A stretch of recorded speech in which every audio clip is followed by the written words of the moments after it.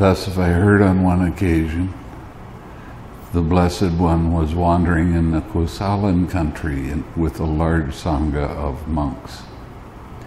Eventually, he arrived at Kosala, at a Kosalan Brahmin village named Opasada. There, the Blessed One stayed in the God's Grove, the Sala Tree Grove to the north of Uposatha. Now, on that occasion, the Brahmin Chanki was ruling over Opasada, a crown property abounding in living beings, rich in grassland, woodlands, waterways, and grain. A royal endowment, a sacred grant given to him by King Pasenadi of Kosala.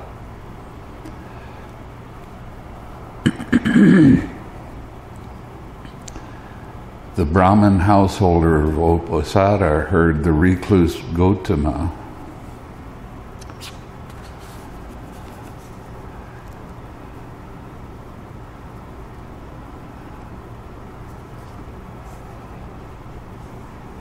the son of the Sakyans, went forth from the Sakyan clan, has been wandering in the country of the of the uh, Kosalans with a large sangha of monks. Now, a good report of Master Gotama has been spread to this effect. The Blessed One is accomplished, fully awakened, perfect in true knowledge and conduct, sublime knower of worlds, incomparable leader of persons to be tamed, teacher of gods and humans, awakened and blessed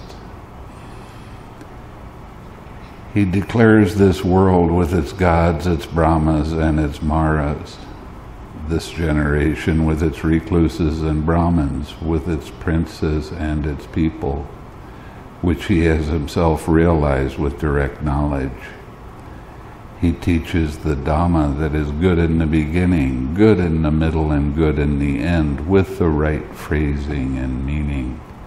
He reveals a holy life that is utterly perfect and pure.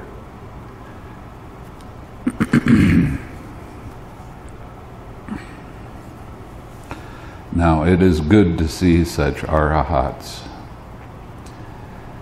Then the Brahmin householders of Uposatha set forth from Uposatha in groups and bands and headed northwards to God's grove, the Sala Tree Grove.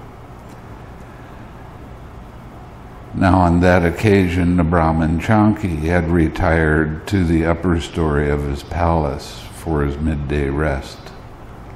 Then he saw the Brahmin householders of Opasada setting forth from Opasada in groups and bands and heading northward to the God's Grove, the Sala Tree Grove.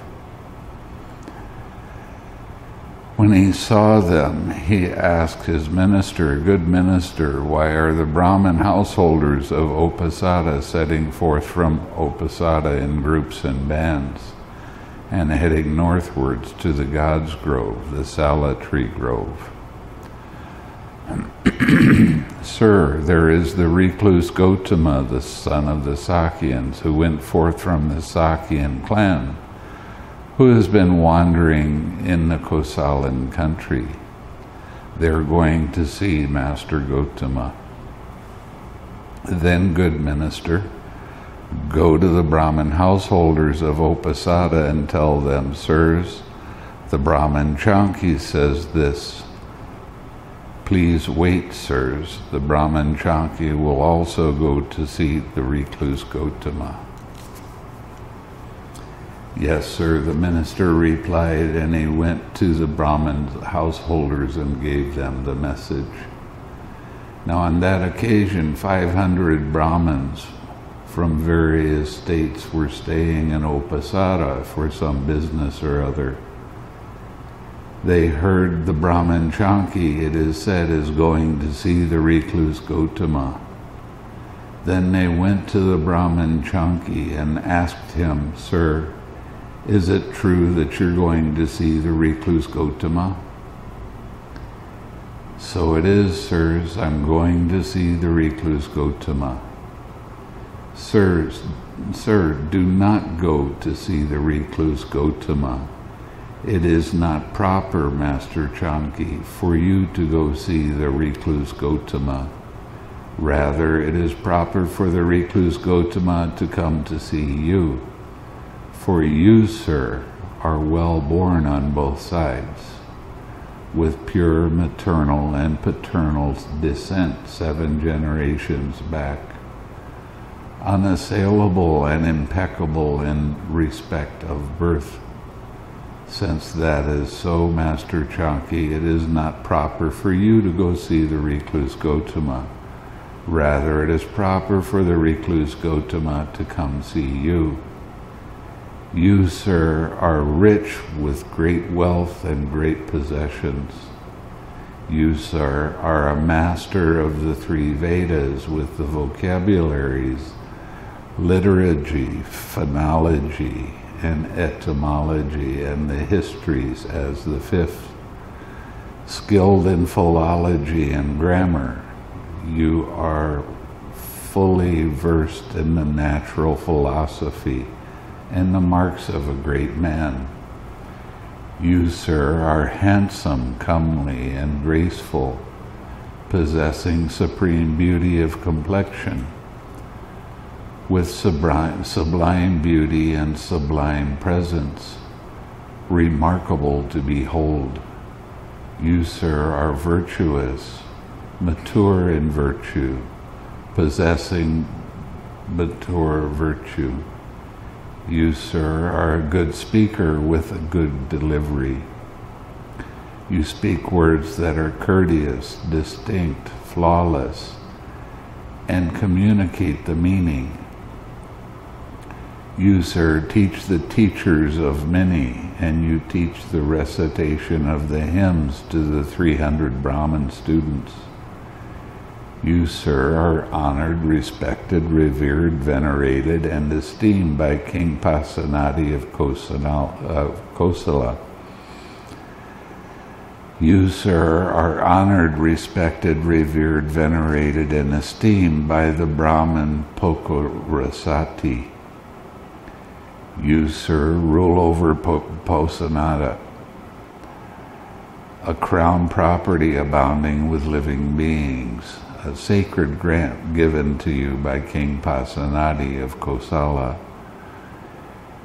Since this is so, Master Chanki, it is not proper for you to see the recluse Gotama.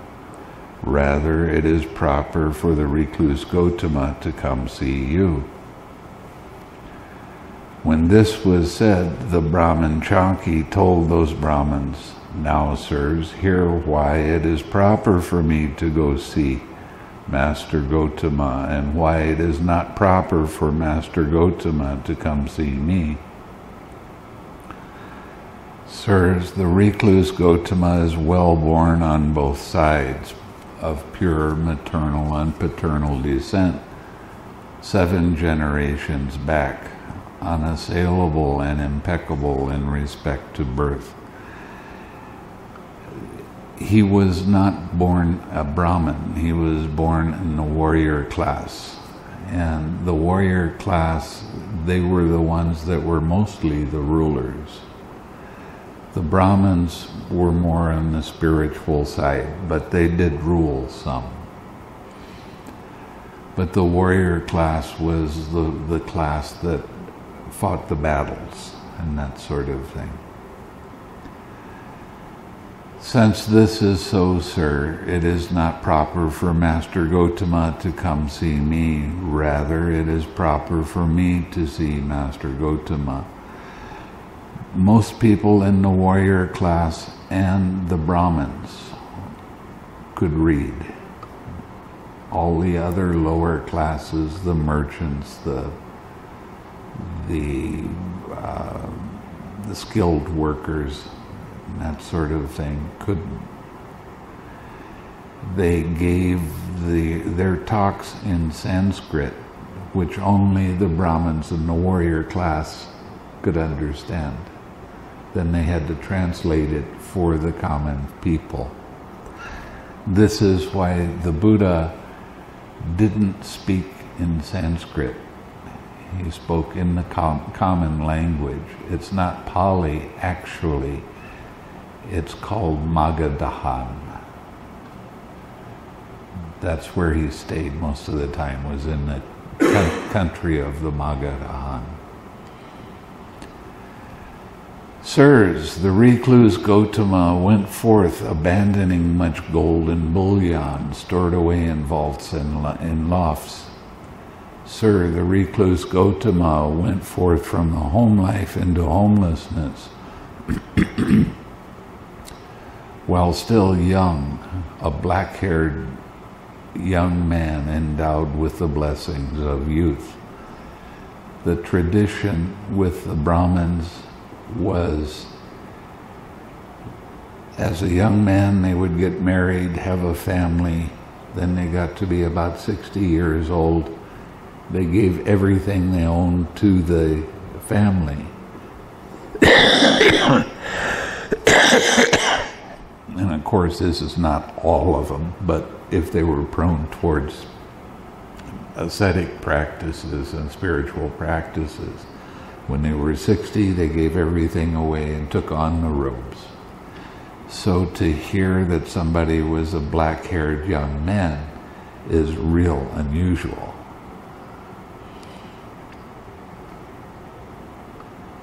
Sirs, the recluse Gotama shaved off his hair and beard and put on the yellow robe and went, for, went forth from the home life into homelessness though his mother and father wished otherwise and wept with tearful faces.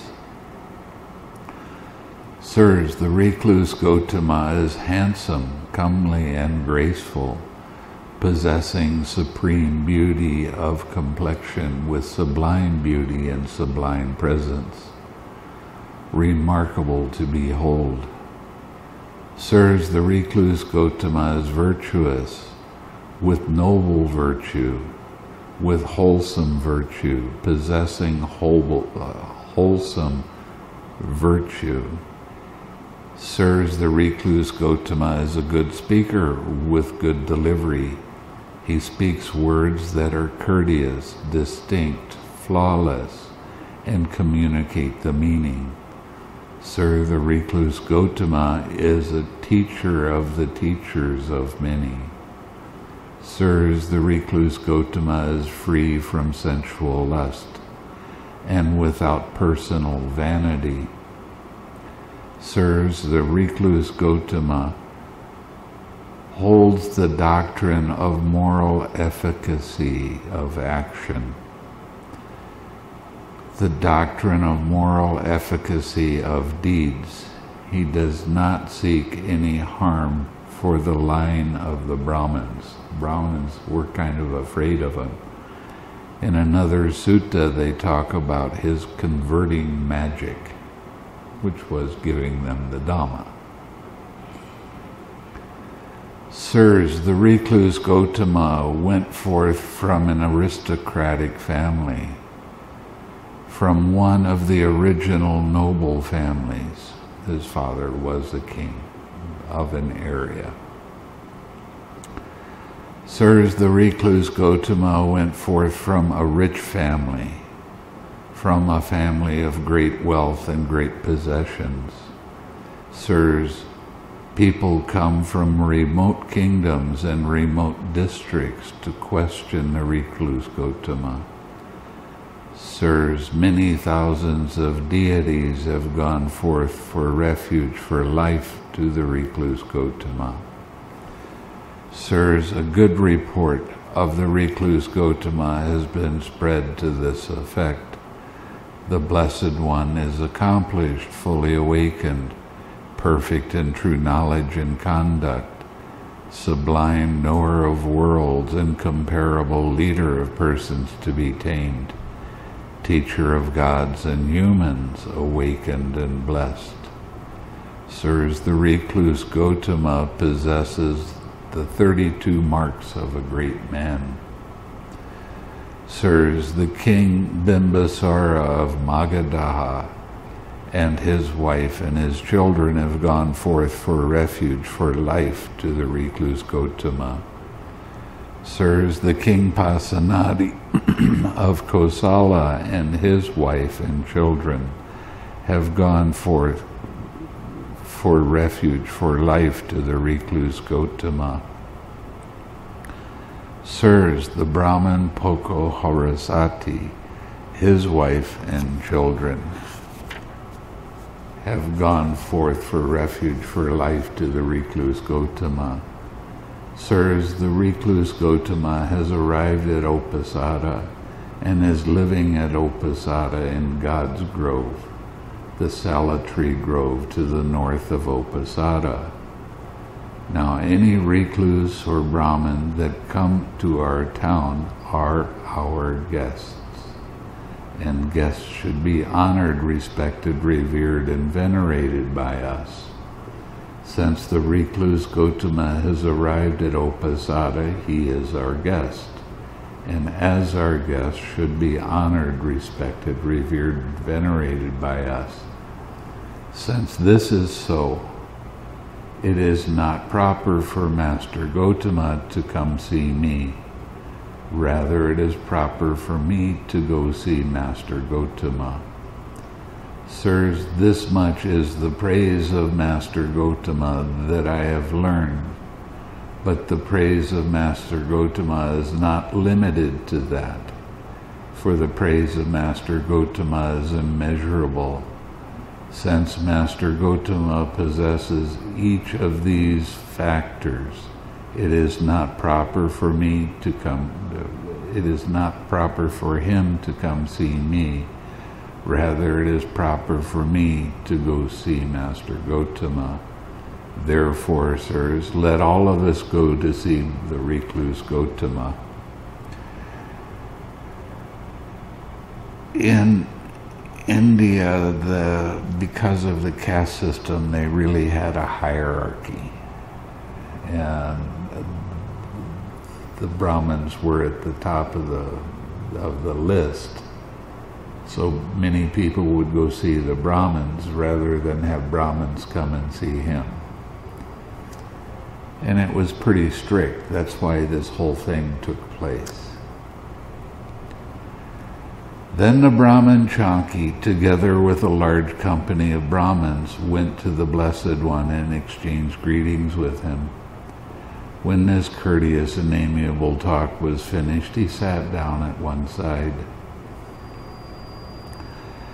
Now, on that occasion, the Blessed One was seated, finishing some amiable talk with some rather senior Brahmins. At the time, sitting in the assembly was a Brahmin student named, we'll just call him the Brahmin student young, shaven head, 16 years old. He was a master of the three Vedas. That means he memorized all of the Vedas. That is no small task. And at 16 is pretty remarkable.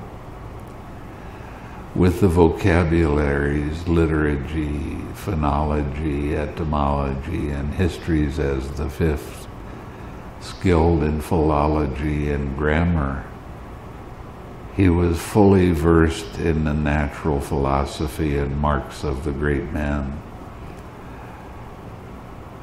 While the very senior Brahmins were conversing with the Blessed One, he repeatedly broke in and interrupted their talk. This is a definite no no. He's too young to be doing that. Even the Buddhist monks, the senior monk talks to whoever they're visiting. Nobody else says anything. I, I was put in that position of being the senior monk of the the Western monks. So when we would travel, I was the one that would talk to the abbot and ask him questions and that sort of thing if they had a question, they had to write it down so and, and hand it to me. Don't speak.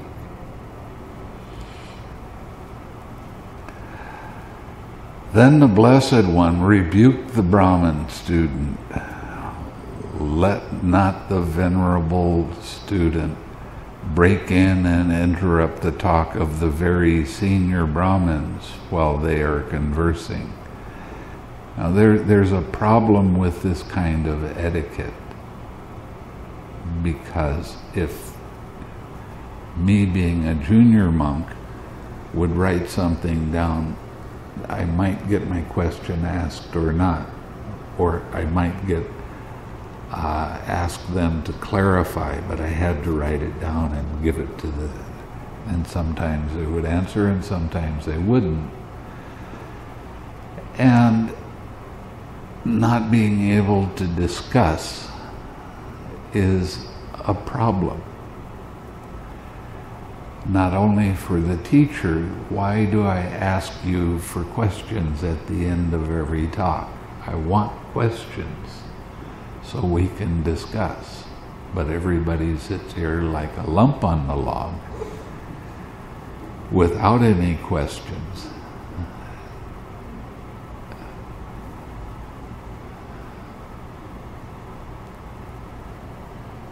Because of the Chinese and the way that they teach, they had great influence in all the countries of Asia and they are taught not to question the teacher.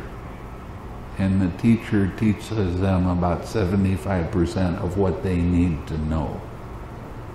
So you can't ask questions about the other 25%. You will be disciplined if you do. And that makes the teacher, that puts him on a pedestal up higher.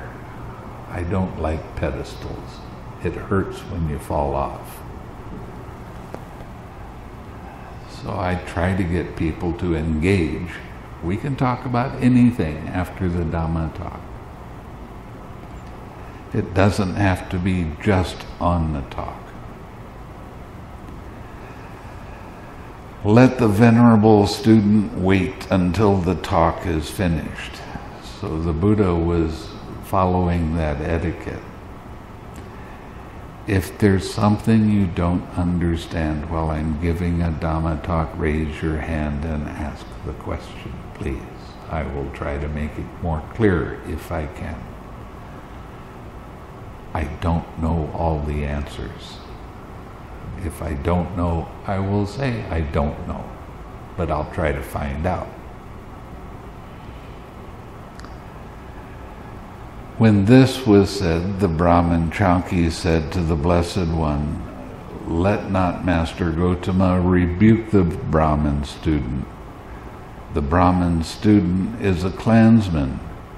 He is very learned. He has good delivery. He is wise. He is capable of taking part in a discussion with Master Gotama. When the then the Blessed One thought, surely, since the Brahmins honor him thus, the Brahmin student must be accomplished in the, in the scriptures of the three Vedas. Then the Brahmin student thought, when the recluse Gotama catches my eye, I shall ask him a question. Then, knowing with his own mind the thought of the Brahmin student, the Blessed One turned his eye towards him. Then the Brahmin student thought, the recluse Gotama has turned his eye towards me. Suppose I ask him a question.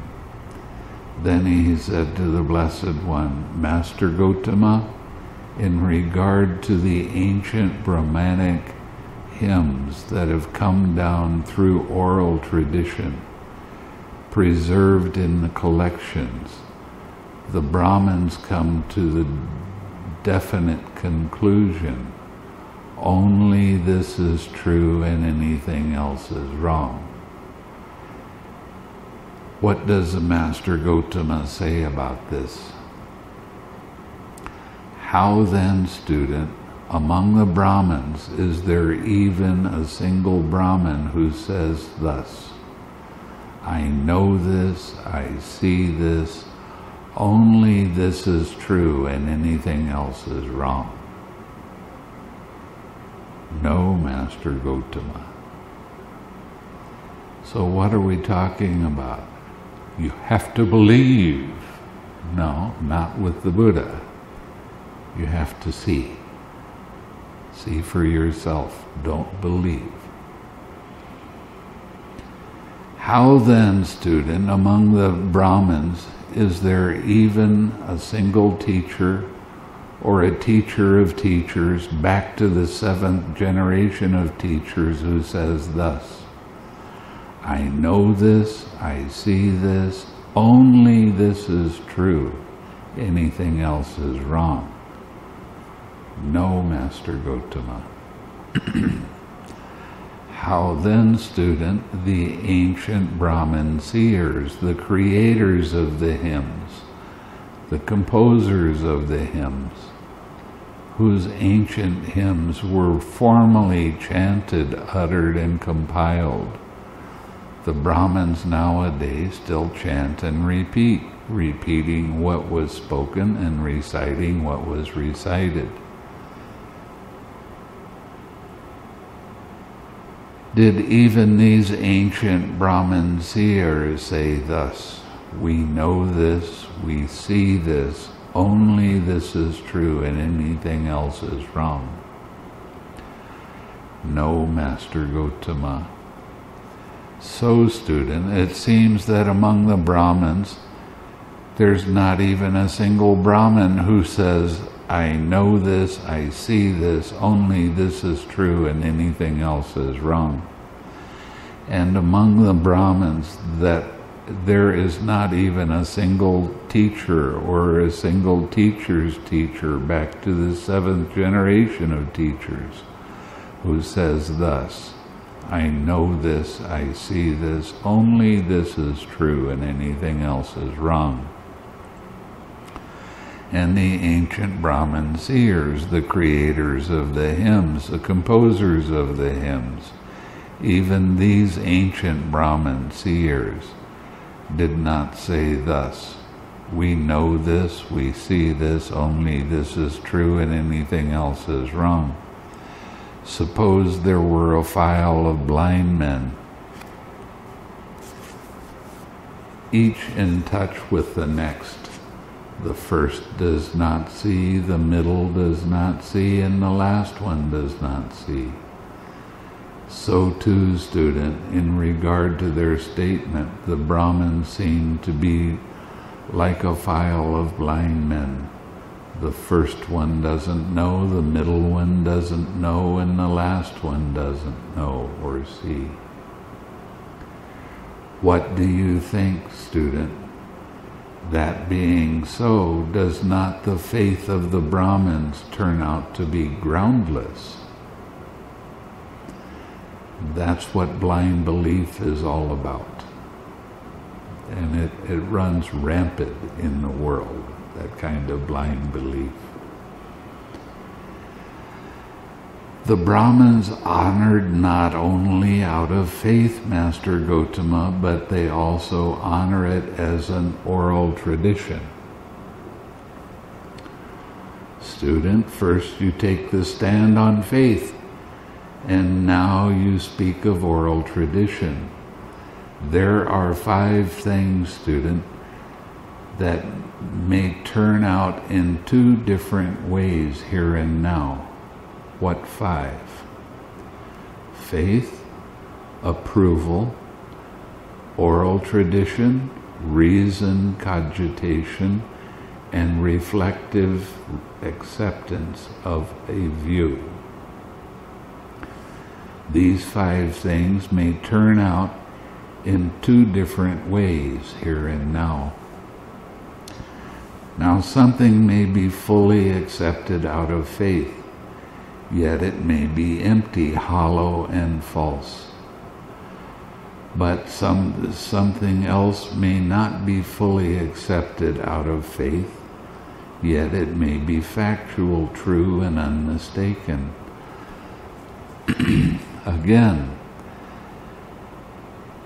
something may be fully approved of, or well transmitted, well cogitated, well reflected upon. Yet it may be empty, hollow, and false. But something else may not be well reflected upon, may not be factual, true, and unmistaken. Yet it may be, it, if it's not widely accepted, it might be true and unmistaken.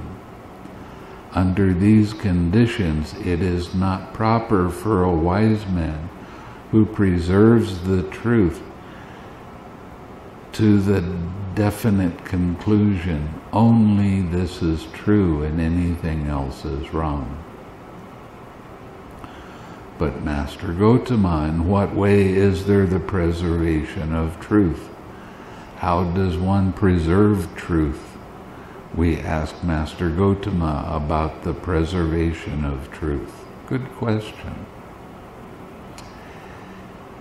If a person has faith, student, he preserves the truth when he says, My faith says thus but he does not yet come to the definite conclusion only this is true and anything else is wrong.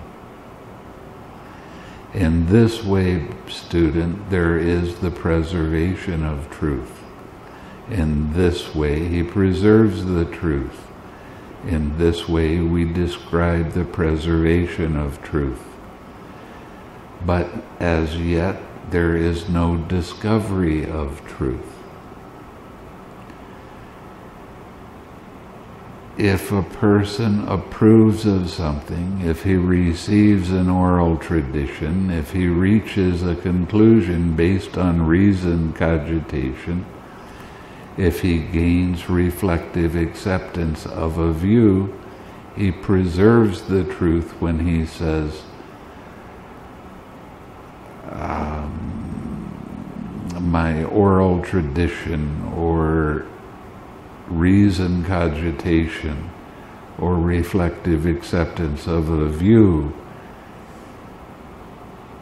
is thus, but he does not yet come to the definite conclusion, only this is true and anything else is wrong.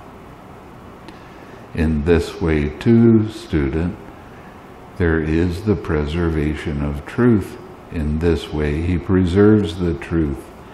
In this way, we describe the preservation of truth, but as yet, there is no discovery of the truth. You see how the Buddha is leading him on.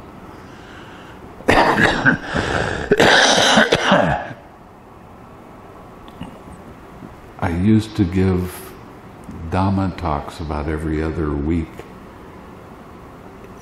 to a bunch of professors at university. They were so impressed with this sutta, they started taking notes.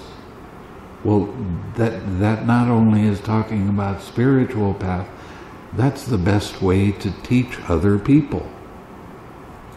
So listen closely. This, this is very good stuff. In that way, Master Gotama, there is the preservation of truth. In that way, one preserves the truth. In that way, we recognize the preservation of truth. But in what way, Master Gotama, is there the discovery of the truth? Ah, good question.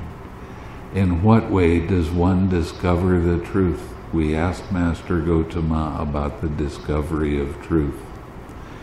Here, student, a person may be living in dependence on some village or town. Then a householder or householder's son goes to him and investigates him in regard to three kinds of states. In regard to states based on greed, in regard to states based on hate, in regard to states based on delusion. Are there any in this Venerable One Are there in this Venerable One any states based on greed such that, with his mind obsessed by these states, while not knowing he might say, I know? Or while not seeing he might say, I see? Or he might urge others to act in a way that would lead to their harm and suffering for a long time. As he investigates him, he comes to know there is no such states based on greed in this Venerable One. The bodily behavior and verbal behavior of this Venerable One are not those of one affected by greed. And the Dhamma that this Venerable One teaches is profound hard to see and hard to understand. Peaceful and sublime, unattainable by mere reasoning, subtle to be experienced by the wise. Again, here's that word wisdom, and that's talking about seeing how dependent origination actually works, and we'll be getting into that more starting tomorrow. This Dhamma can, cannot be easily taught by one affected by greed. When he has investigated him and he has seen that he is purified from states based on greed, he next investigates him in regard to states based on hate. Are there in this Venerable One any states based on hate? such that, with his mind obsessed by these states, he might urge others to act in a way that would lead him to harm and suffering for a long time. As he investigates him, he comes to know there are no such base, states based on hate in this Venerable One the bodily behavior and verbal behavior of this Venerable One are not those of one affected by hate. And the Dhamma that this Venerable One teaches is profound to be experienced by the wise. This Dhamma cannot easily be taught by one affected by hate when he's investigated him and he has seen that he is purified from these states based on hate, he next investigates him in regards to states based on delusion. Are there in this Venerable One any states based on delusion? What is delusion?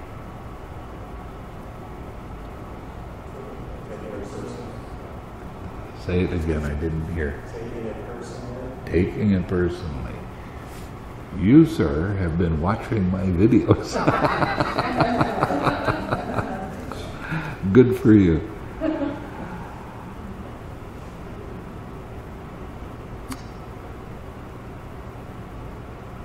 Okay, any such states based on delusion, such that with his mind obsessed with these states, he might urge others in a way or to act in a way that would lead to harm and suffering for a long time.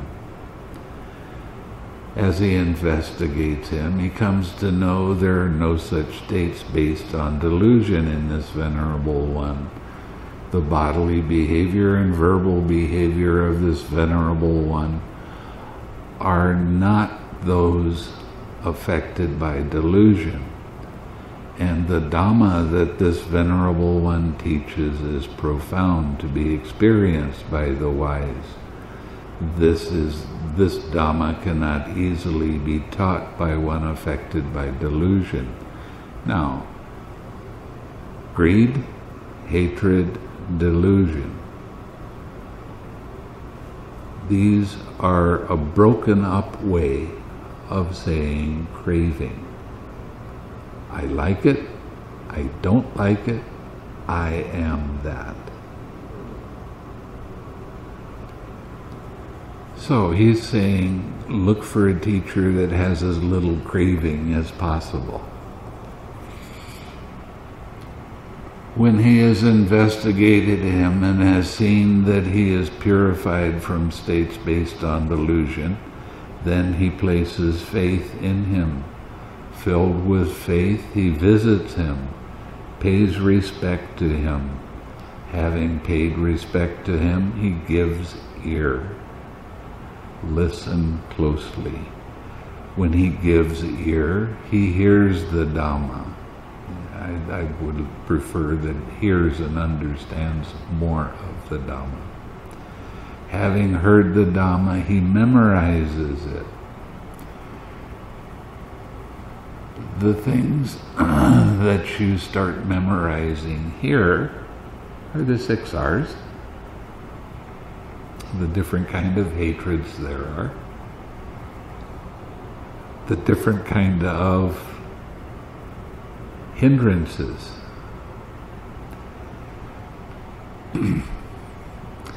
and examines the meaning of the teaching he has memorized. So you don't just blindly say these things in the morning. They are there as a reminder so that you won't break a precept. When he examines their meaning, he gains reflective acceptance of those teachings. When he's gained reflective acceptance of those teachings, enthusiasm springs up. When enthusiasm has sprung up, he applies his mindfulness. Having applied his mindfulness, he scrutinizes. Having scrutinized, he strives. Strives here means using the six R's. Resolutely striving, he realizes with the body the supreme truth and sees it by penetrating it with wisdom. Now, you've seen me talk about the meninges, okay? That it, it wraps around your entire uh, nervous system. And when uh, there's a thought or feeling or sensation that arises, that the nerves spread out a little bit. And that causes tension and tightness.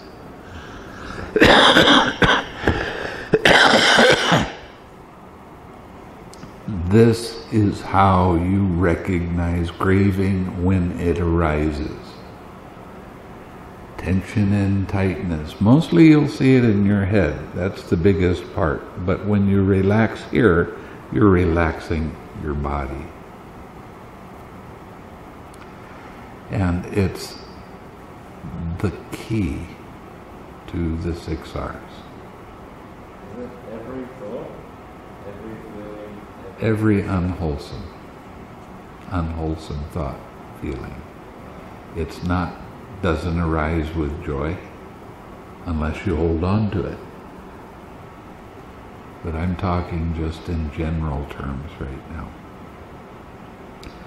In this way, student, there is the discovery of truth. In this way, one discovers truth. In this way, we describe the discovery of truth. But as yet, there's no final arrival at truth.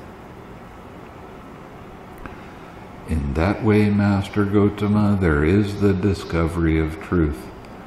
In that way, one discovers truth. In that way, we recognize the discovery of truth. But in what way, Master Gotama, is there the final arrival at truth? In what way does what finally arrive at truth? We ask Master Gotama about the final arrival at, at, truth. The final arrival at truth, student, lies in the repetition, development, and cultivation of these same things.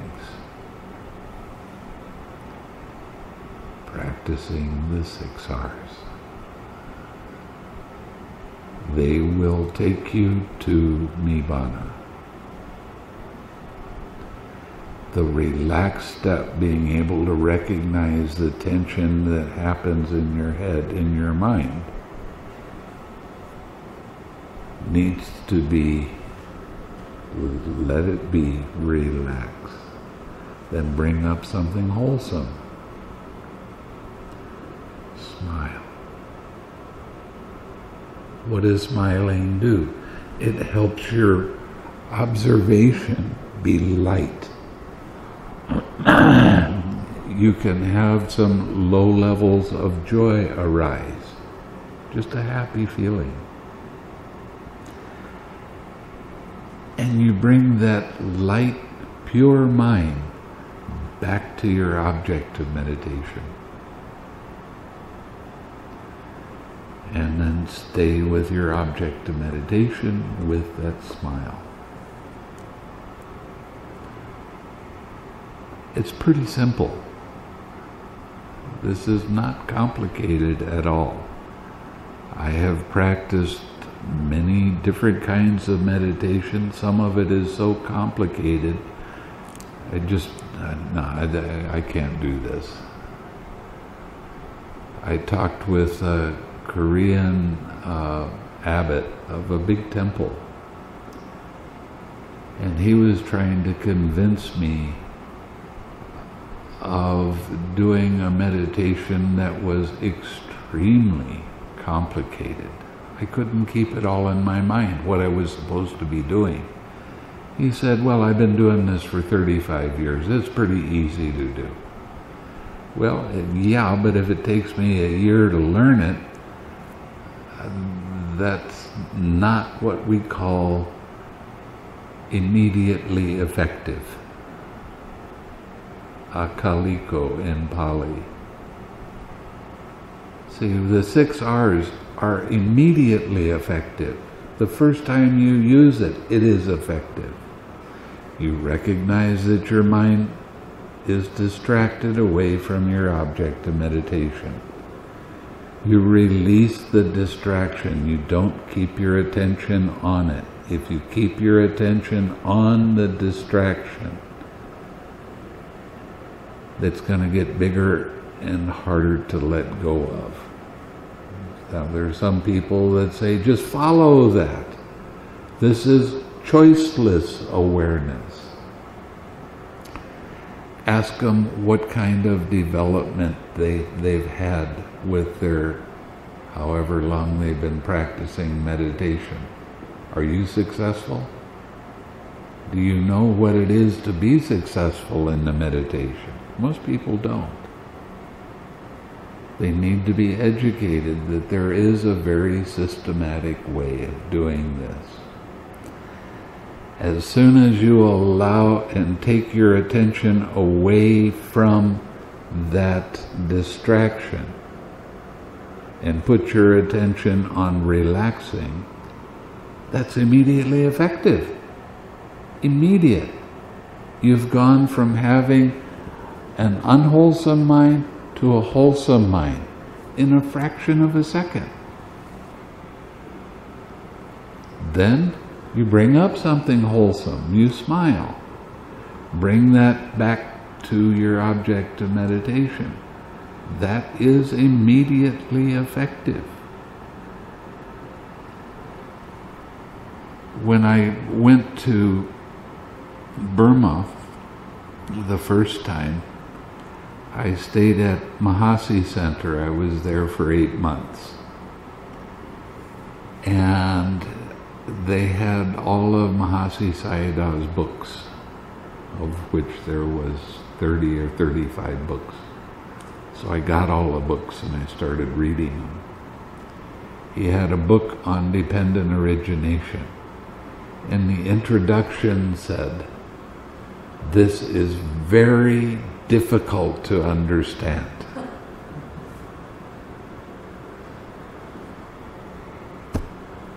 I read it. He explained it in a way that is very difficult to understand. He was right in the Visuddhimagga, it talks about dependent origination, and they said, it's like putting the weight of all the oceans on your head. it's hard to understand. Well, the way they explain it, it is. But it is easy to understand, and you will understand at least the beginning parts of this before this retreat is over. Okay? Promise. Anyway, the repetition, the using the six R's over and over again, purifying your mind of the craving, immediately effective. Very simple. When the Buddha was teaching the farmers, he had to have a system that was easy to understand. He had to have a system that worked quickly because they would lose their interest. But he found this. The six R's are part of the Eightfold Path. In, in my book, I call it harmonious practice. It's right effort. Okay? First part of right effort. In, in the sutta, there's, there's four parts to it. I added a couple extra steps so it's easier to understand, but it's still the same thing. You recognize when an unwholesome state arises by seeing that tension and tightness. You release the unwholesome state and relax. You bring up something wholesome. Smile. Bring that smiling mind back to your object of meditation. That is wholesome too and continue staying with your object of meditation for as long as you can. Repeat. So the four great efforts in the six R's are the same thing. Now this the I have been criticized by telling people I want you to smile. The Buddha never taught that. He didn't teach anybody to smile. No, he said we're the happy ones. What's the expression of being happy? Smile.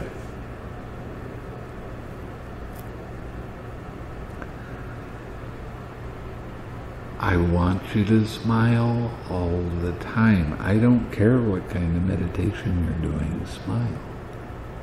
Why? it improves your mindfulness. Again, mindfulness is remembering to observe how mind's attention moves from one thing to another. That's actually a very deep definition because you don't get caught in following things. Now, when I was taught at Mahasi Center and before I'd been practicing, I was taught that when painful feeling arises Put your attention right in the middle of that painful feeling. Quote, see its true nature. Its true nature hurt. It was painful and it made the pain bigger and more intense because I was feeding it with my attention.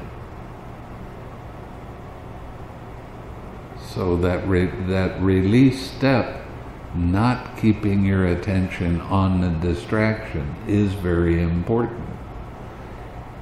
You have to follow it up with the relaxed step, or else you're not going to purify your mind. How do you purify your mind? You let go of craving.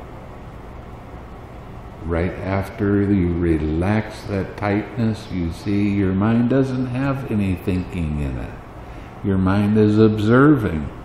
It's clear, it's bright. Your awareness is very agile. It sees very quickly what's happening. And it is pure. It's not, it's, it's, it's wholesome now. Then you bring that to your smile and come back to your object of meditation.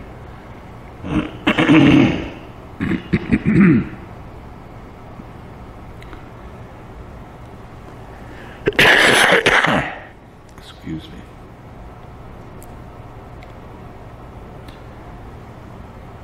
So this is the only practice that I've ever run across that is so immediately effective.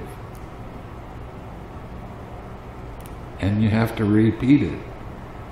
Maybe a hundred thousand times, maybe a million, who knows?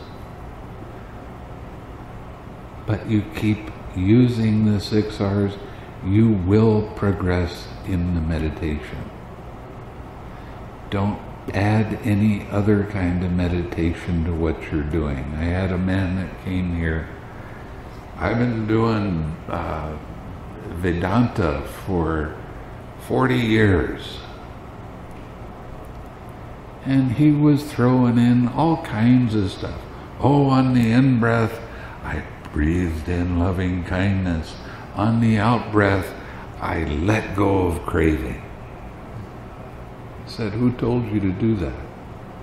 Who told you to mix up two different kinds of meditation at the same time? Or three, actually. He said, I didn't tell you to do that. If you don't follow the instructions, you're not going to learn. And it took him, how long was he here? He must, he was here for almost a month. But he finally started following what I was talking about.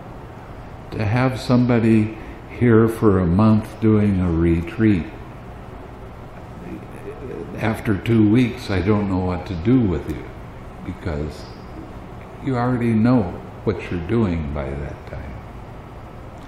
That's the nature of following the suttas.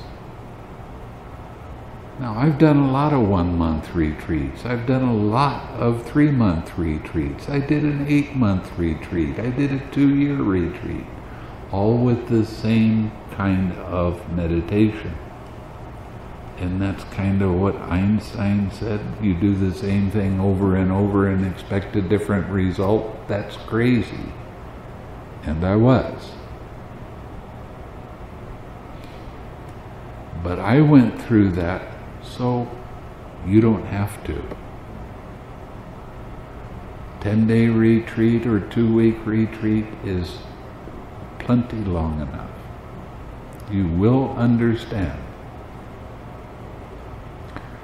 when you don't add like this other guy did.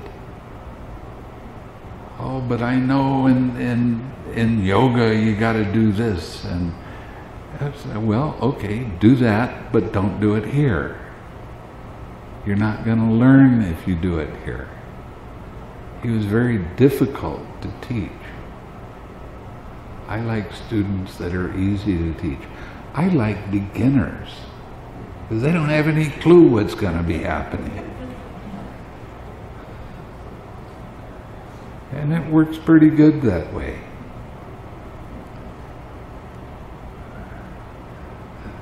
and they can be even more successful than somebody that's done a retreat before.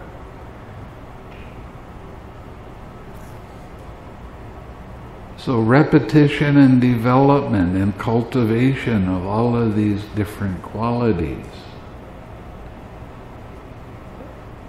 As you start going deeper in your meditation, you're going to start getting a little bit enthusiastic you're going to start going, you know, this stuff works.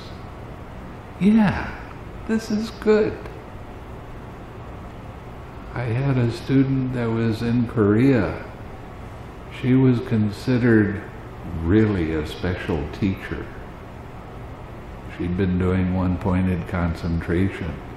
I kept telling her, have fun with the meditation. Stop being so serious. She started following what I was saying. And she came to me one day with this look of wonder on her face. And she said, I am having fun.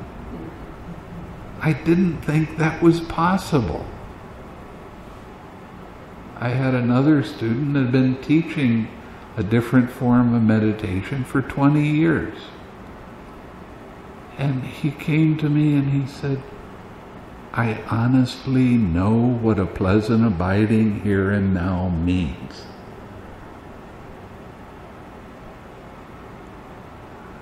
This is fun. Don't get serious with it, please. Turn it into a game. Your mind's crazy anyway. Isn't that right? That's why he can laugh, because he knows how crazy mind is. so laugh with it. Laugh at its shenanigans with all of its different kinds of distractions. Don't take them seriously. Oh, but sadness is serious. No, it's not. Anger is serious. No, it's not. Actually, anger is one of the funniest things that you can have.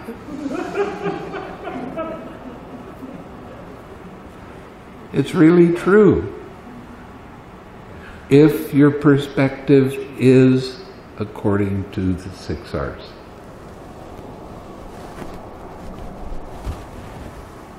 Laughter changes your perspective from I am that, where your mind is really serious and you're taking it personally, to, well, it's only that. We don't need to carry that around. Let it go. You go from the personal to the impersonal. That's immediately effective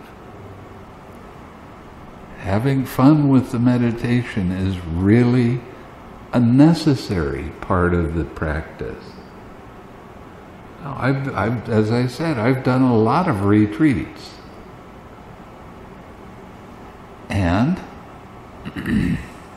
with the kind of meditation that I'd been doing before, I'd get up and start walking out, and people were still sitting, and I'd look at their faces, and their their faces are all screwed up and they're really trying hard.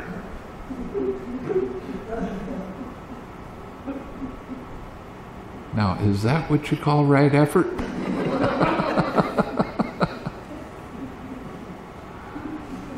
and at the end of the retreat, and this, this went after every retreat that I took, we sat around and talked about how hard it was.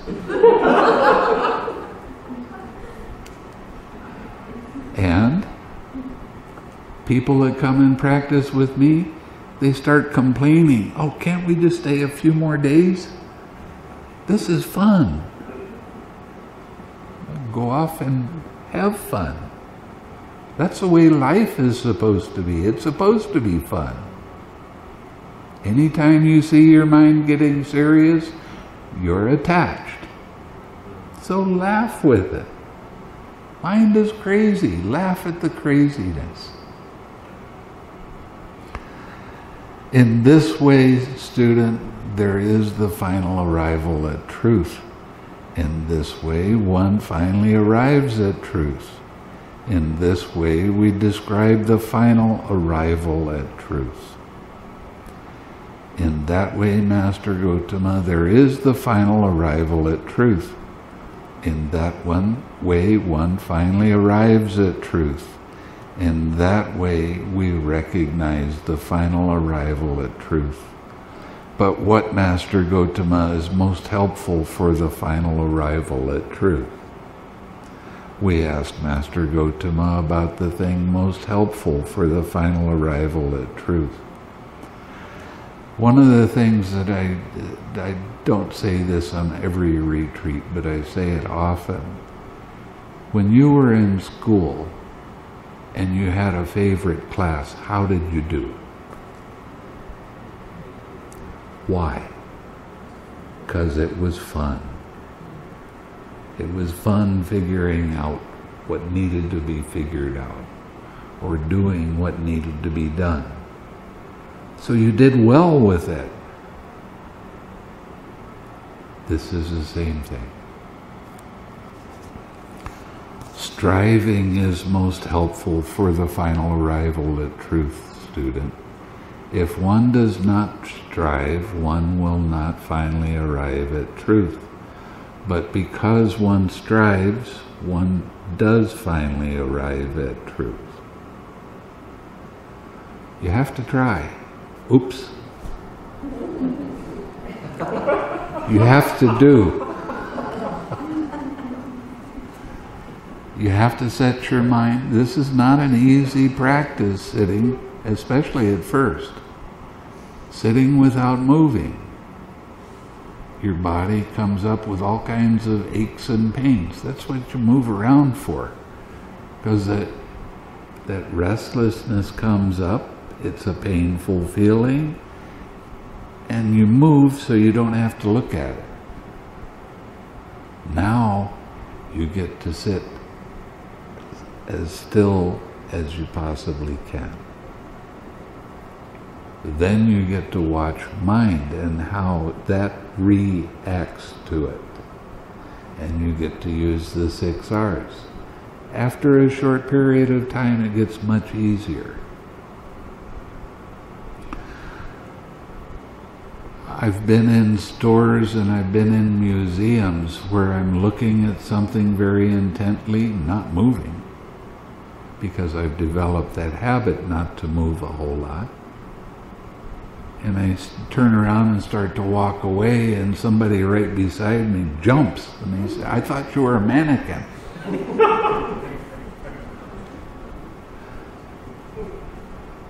and that's a really a high compliment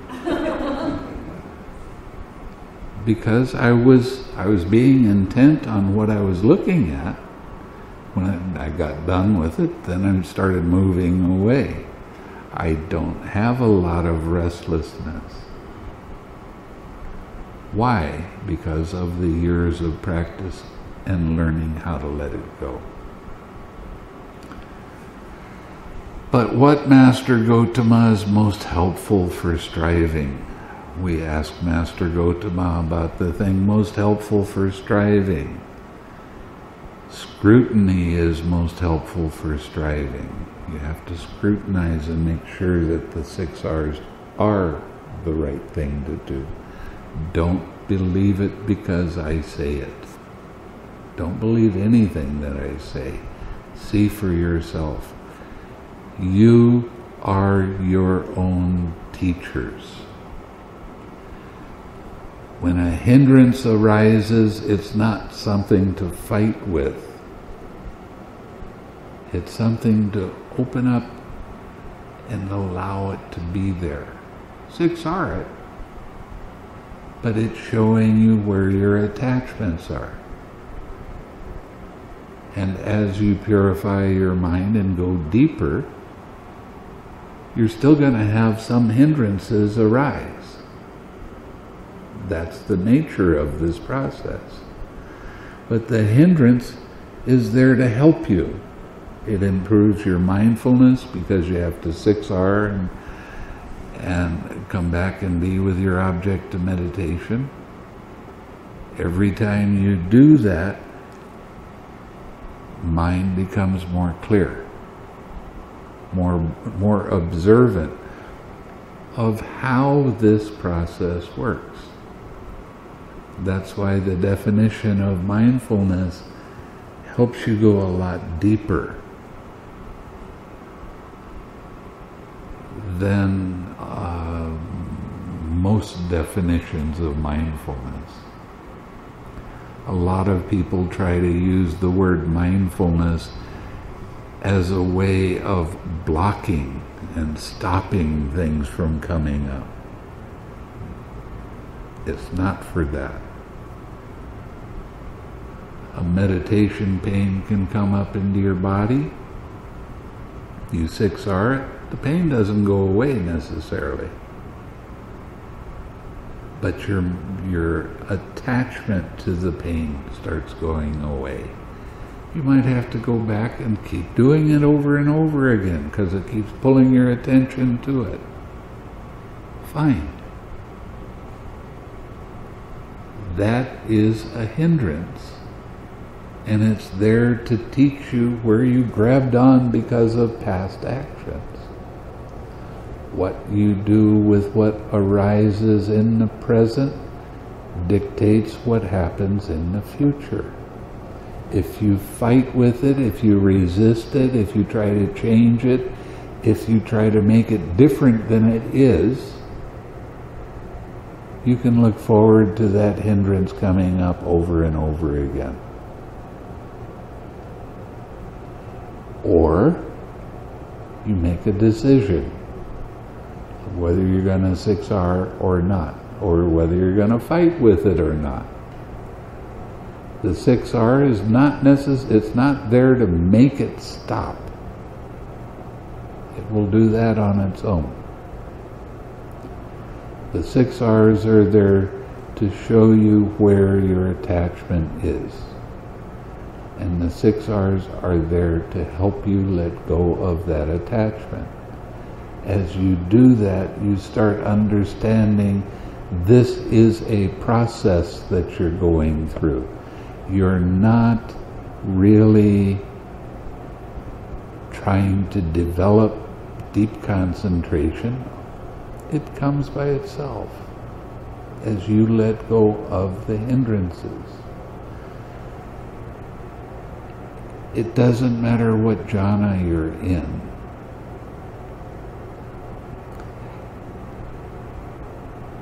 When your mindfulness becomes weak for whatever reason, distracted, that hindrance, another hindrance is going to come up. treat it like an old friend. I read one thing of the, the Tibetans, they said, invite it in for tea. Do that. Don't fight with it. Don't try to change it. Don't try to make it any different than it is. It's only a hindrance and it's not even yours. You didn't ask it to come up. You can't make it go away. So there's no controller in there. It's teaching you part of the impersonal process every time you relax.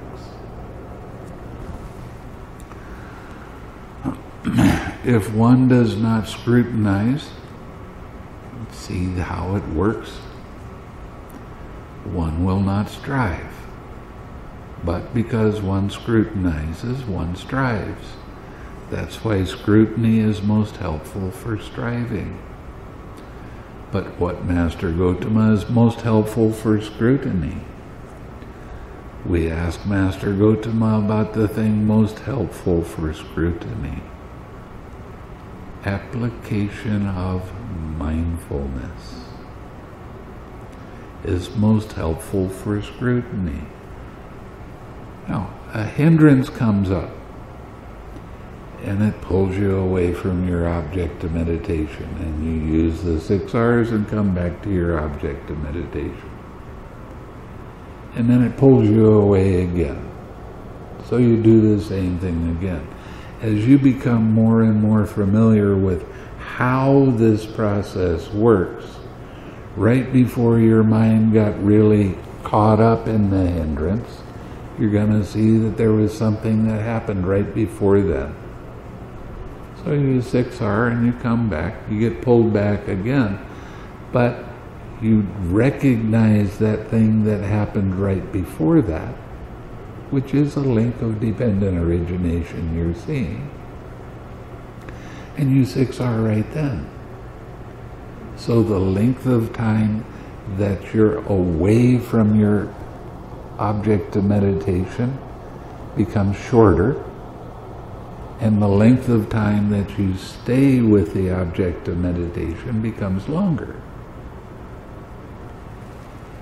So, this application of mindfulness is very, very important. Observe how this process works. I don't care what kind of hindrance it is. I call all dis- all hindrances distractions. So whatever the distraction is, fine. It can be there. It's your teacher. Treat it with respect. Be grateful that it came up because it's helping you to observe more closely how this process works. If one does not apply one's mindfulness, one will not scrutinize. Because one applies mindfulness, one scrutinizes. That's why the application of mindfulness is most helpful for scrutiny. But what Master Gotama is most helpful for the application of mindfulness? We ask Master Gotama about the thing most helpful for the application of mindfulness. Enthusiasm is most helpful. Having a little bit of fun with it.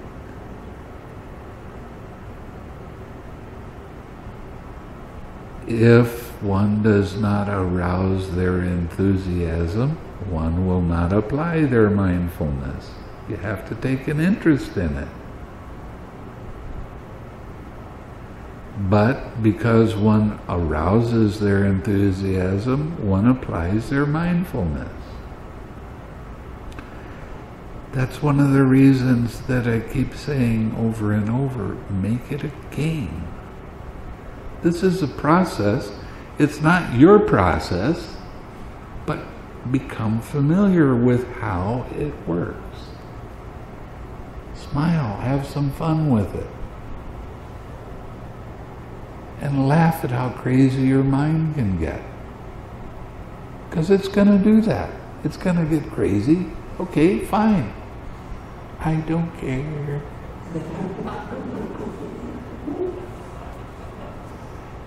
That's why enthusiasm is most helpful for the application of mindfulness. But what Master Gotama is most helpful for enthusiasm? We ask Master Gotama about the thing most helpful for enthusiasm reflective acceptance of the teaching is most helpful for enthusiasm when you start getting the insights, you start seeing for yourself how these things arise. You said that turn, the meditation turns into an oh wow meditation. Oh wow, I didn't recognize that before. Now I see it clearly. So your enthusiasm becomes much better when you start reflecting on how this process works. All of this stuff is interconnected. It's woven together. One of the worst things about the commentary is they start tearing these threads apart. And they say, well, faith is over here in this bowl, and enthusiasm is over here, and your mindfulness is over here and they take it all apart. And you can't do that. It's all interwoven. You have to do it in a systematic way. That's one of the reasons that I read the suttas so much, is because it's the most systematic, logical way to study. Is that a reference to all of that is part of it.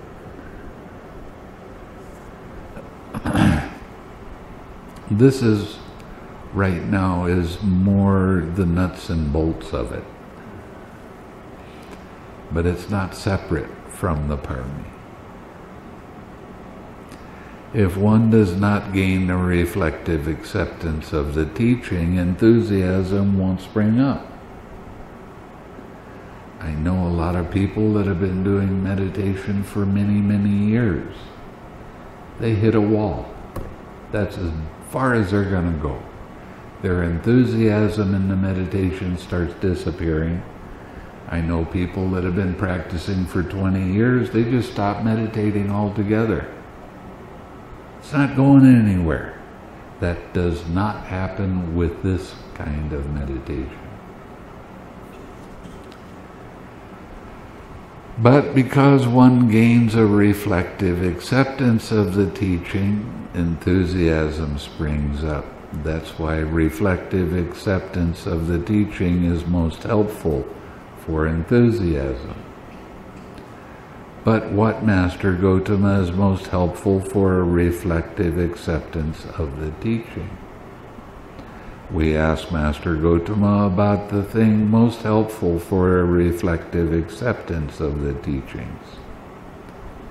Examination of the meaning. See for yourself is most helpful for the reflective acceptance of the teaching. So you see how these two are intertwined. You have to examine and see for yourself. Is what Bhante saying right or not? Question. It's okay to question. Don't ask the same question over and over to me. I'll bark at you. But answer it for yourself. And if you can't figure it out, ask your intuition. That will help you. If one does not examine their meaning, one will not have gain a reflective acceptance of the teaching. But because one examines their meaning, one gains a reflective examination of the meaning. That's why it's most helpful for reflective exception, a, a reflective reflection. But what Master Gotama is most helpful for examination of the meaning? We ask Master Gotama about the thing most helpful for examination of meaning. Memorizing the teaching is most helpful for examining the uh, meaning. If one does not memorize the teaching, one will not examine its meaning. But because of memorize, one memorizes the teaching, one examines its meaning. I've been around some pretty fantastic monks, great monks, that have memorized all of the Tipitaka. I was, uh, when I went to Burma, the Mingun Sayadaw, who was the chief answerer at the Six Buddhist Council, he was written up in the uh, Guinness Book of Records for best retentive memory. He memorized 12,000 pages of material. Now, he not only memorized it, he took tests on it to make sure he hadn't make any, made any mistakes. You know how in college you go and you have, oh, I got a four hour test that I have to do, and, and then you get done, you feel real drained. Well, he took every day a test 10 hours a day.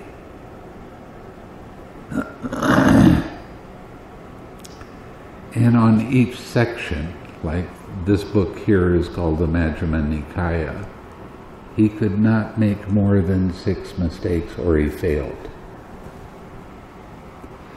He wound up taking the test 30 days in a row. He got over 90% correct of everything that he'd memorized. What a fantastic memory this guy had any question you had about what does it say about this sutta? He could say it right there. The sutta says this. And the commentary will say that, and then there's a sub commentary that says this. He carried all of that around with him like he carried his skin. It was real fun hanging out with him. Unfortunately, I had to go through a translator who didn't understand near enough.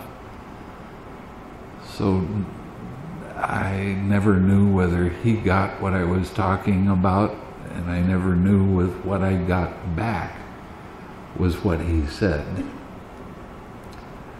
But I did ask him some very interesting questions because Vipassana was the name of the game in Burma. I asked him about Khanika Samadhi and Upachara Samadhi. Where does it talk about that in the suttas? He says it doesn't. That's a commentary. Okay, a commentary is my interpretation of what I think the Buddha was talking about. It might be right, it might be wrong. Who knows? The thing with the sub commentary, it's written after the commentary. The Visuddhimagga is a commentary, and there is a sub commentary, and there's more than one version of the sub commentary where a lot of the mistakes that were in the Visuddhimagga are brought to light. Yeah. The two samadhis you mentioned, what, what are those? What? You mentioned two samadhis. Khanika Samadhi and Upachara Samadhi come from the Visuddhimagga and it started up around the second century AD. That's when Dhammapala was was alive, and he was a very famous teacher in southern southern India. And he's actually the one that was responsible for the Theravadins coming into being. in order to be a Theravada monk, you have to take some commentaries the same as the Buddha's teaching. And when I started going to some of my older friends that had been monks for 50 years or so saying, I can't do that. It doesn't agree with the suttas. I was told flat out, you, then you can't be a Theravada monk. And I went, oh man, I'm creating all these problems for myself. And then he came back and said, You're still a Buddhist monk. But now we are starting to call the kind of Buddhism that we're teaching Suttavada. Okay, it's Sutta study. And we don't rely so much on commentaries, although if they agree with the suttas, we can use parts of the commentaries or sub commentaries.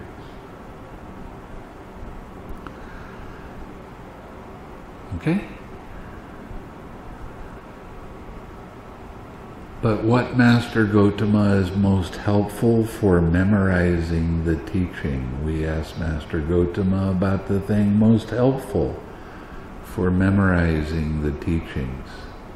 Hearing the Dhamma is most helpful for memorizing the teachings.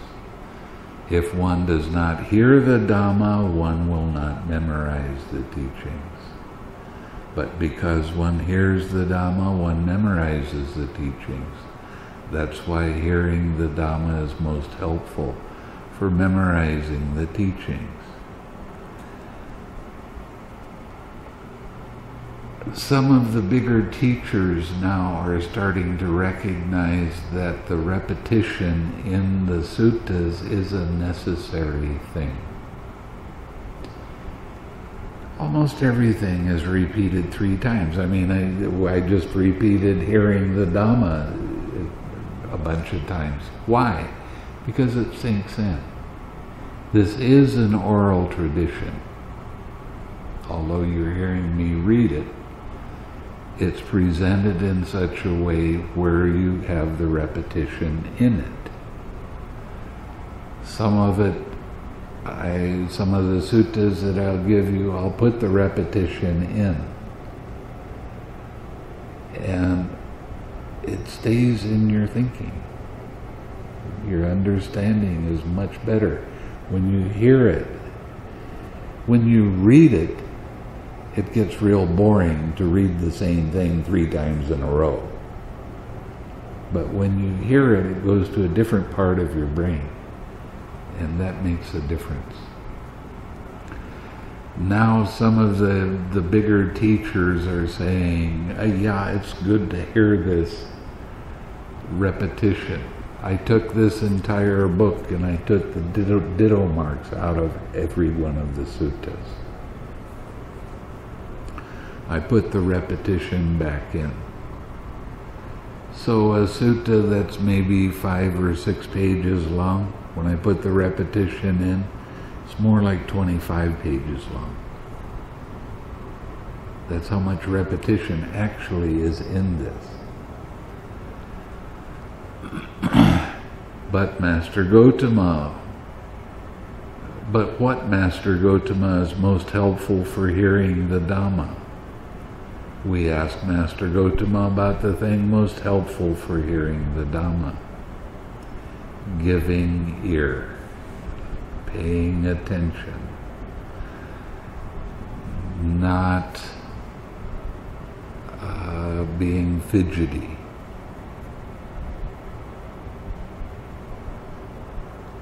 Just listen. That's why he said, I don't want you doing the beads because that's a distraction. You're not hearing all the way. And I'm not being critical. You can do the beads anytime you want, just not here. if one does not give ear, one will not hear the Dhamma deeply. But because one hear, gives ear, one hears the Dhamma very well. That's why giving ear is most helpful for hearing the Dhamma. But what Master Gotama is most helpful for giving ear? We ask Master Gotama about the thing most helpful for giving ear. Paying respect is most helpful for giving ear. If one does not pay respect, one will not give ear.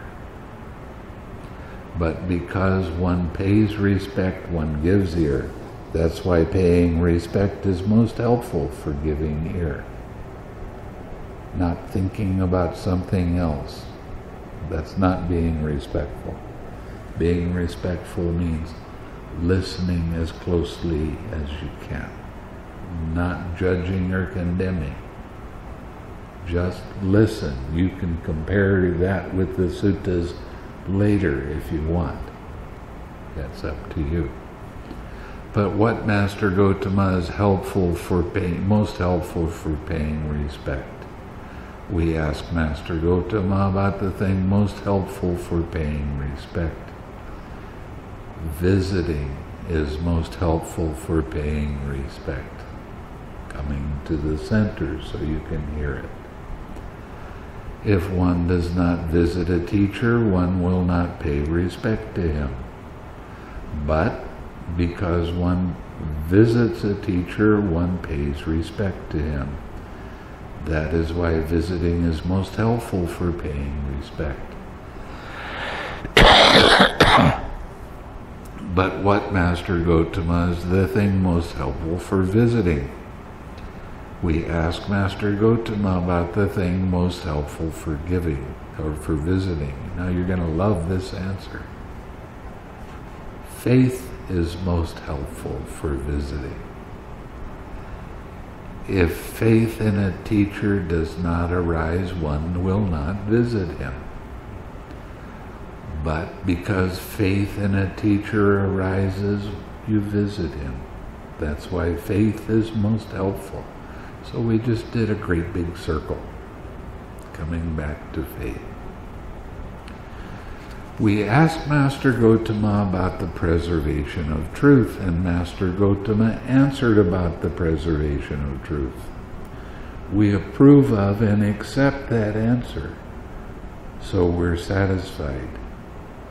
We asked Master Gotama about the discovery of truth, and Master Gotama answered about the discovery of truth.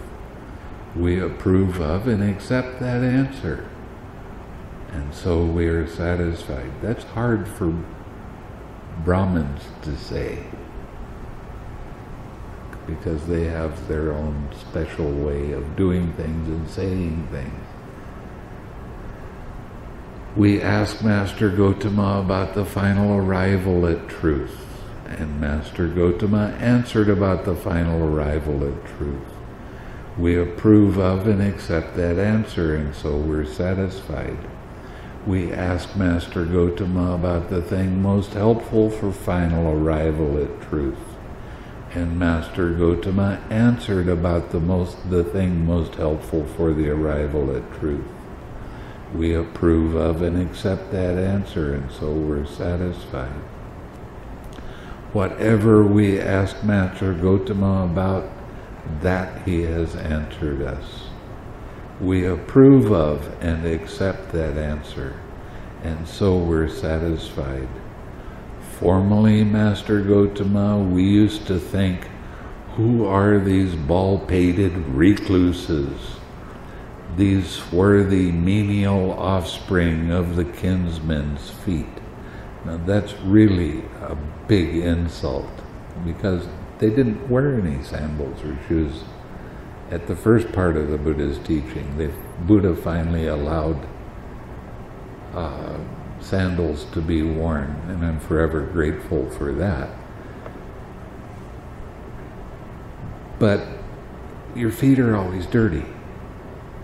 That's why you hear me in the suttas, the Buddha sits down and washes his feet, because he's been tromping around in the dust without any uh, protection for his feet, so he had to wash it fairly often. Who were these menial offspring of the kinsmen feet that they would understand the Dhamma? But Master Gotama has inspired in me love for recluses, confidence in recluses, and reverence for recluses. Magnificent Master Gotama, magnificent. From today, let Master Gotama remember me as a lay follower who has gone to him for refuge for life. So it's a real interesting thing that the professors at a college would listen to this Dhamma talk and come away with new ideas in how to get people to learn. So, are you ready for this?